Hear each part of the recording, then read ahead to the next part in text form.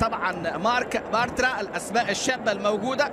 انطلاق على طول نجريدو نجريدو خامس اللاعبين في العالم في الإحصائيات بقى الموجودة يعني كريستيانو رونالدو. اصطادها بقى اصطادها كاسورلا دانييلو.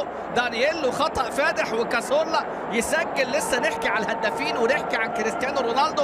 هدفه الغالي امبارح في مرمى منتخب السويد بهدف مقابل لا شيء وادي كاسورلا بيسجل في هذه المباراة بعد مرور 13 دقيقة.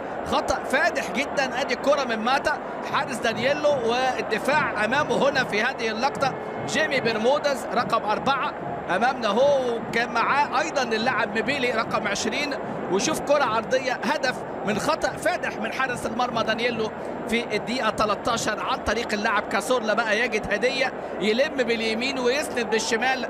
نتيجة الخطأ اللادو ركنية لصالح غينيا الاستوائية. ملعب اللقاء كله يعني بيبحث عن هدف جول جول! جيمي جيمي جيمي جيمي مش مصدق جيمي.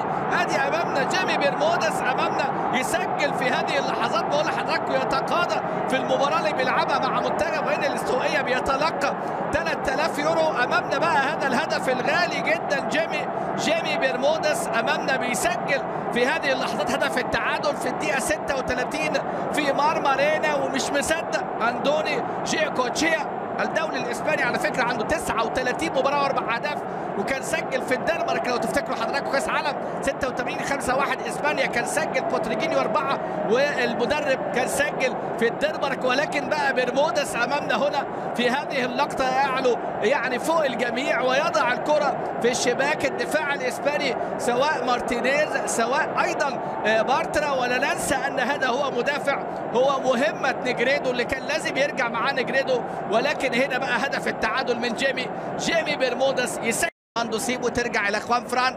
المنتخب الإسباني على المستوى الجماعي لم يؤدي بشكل جيد وأدي أمامنا كرة عرضيه هو المتابع خوان فران أمامنا هنا بيسجل. أدي خوان فران يطلق صاروخ صاروخ من خوان فران هدف التقدم لإسبانيا حارس المرمى دانييلو متواضع وخوان فران توريس أمامنا هو رقم خمسة. لاعب أتلتيكو مدريد يسجل في هذه اللحظات الهدف اللي أمامنا هنا بمنتهى القوة.